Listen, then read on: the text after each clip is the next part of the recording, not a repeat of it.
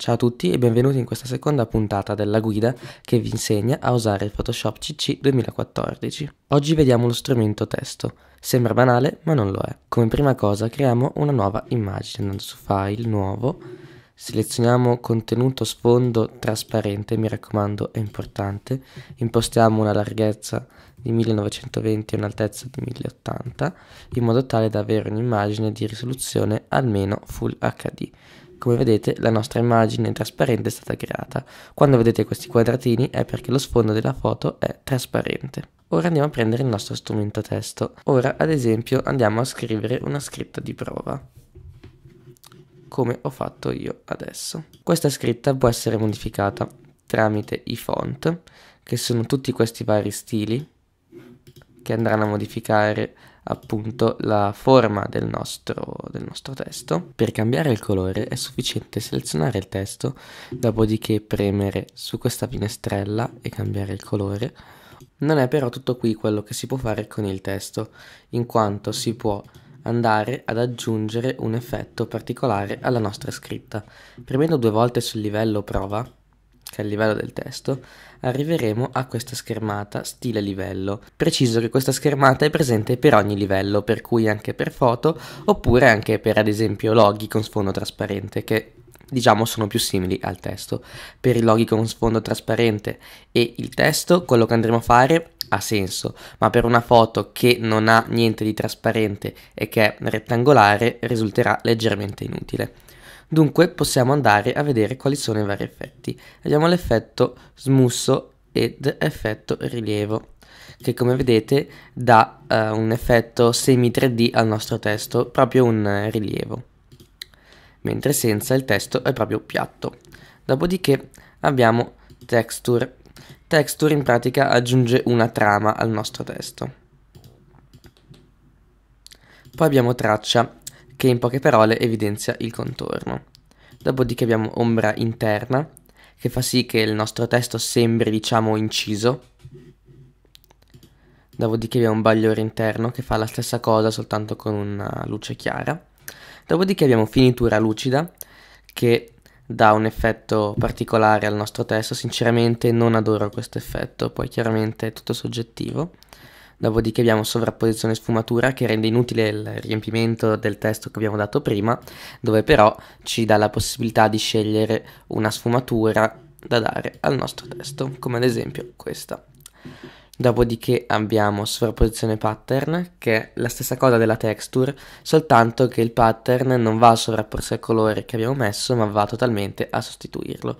Anche qua nella schermata delle opzioni del pattern abbiamo la possibilità di selezionare l'opacità che abbiamo visto nella puntata scorsa, se non l'avete vista andate in descrizione, premete sul link, che ci permette di visualizzare o meno il pattern selezionato. Infine abbiamo i due effetti che utilizzo più spesso, che sono bagliore esterno, solitamente lo utilizzo di colore bianco e non di colore giallo, che ci permette appunto di dare questo effetto alla retro del nostro testo, oppure ombra esterna, che ci permette di dare un effetto di rilievo al nostro testo, senza però andare a eh, creare quell'effetto diciamo di testo 3D che non mi piace tanto.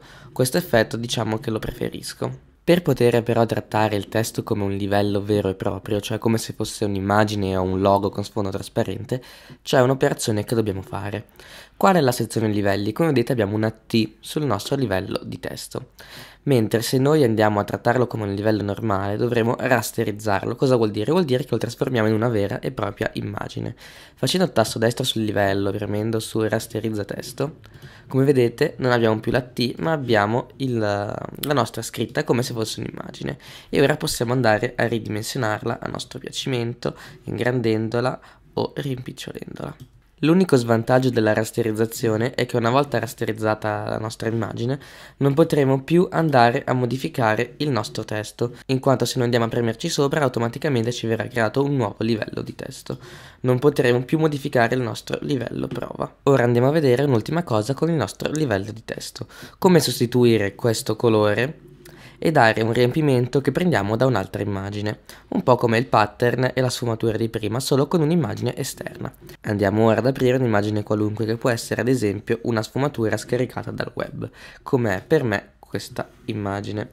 La seleziono tutta, faccio copia, vado sul nostro progetto e faccio incolla. Automaticamente il nostro testo verrà coperto perché il nostro livello 1 sta sopra il nostro livello prova e semplicemente spostandolo posso fare comparire la nostra scritta. Quello che vogliamo fare noi però è cancellare il colore di prova e metterci questo colore. Per cui dobbiamo fare sul nostro nuovo livello aggiunto sulla nostra immagine, tasto destro e fare crea maschera di ritaglio.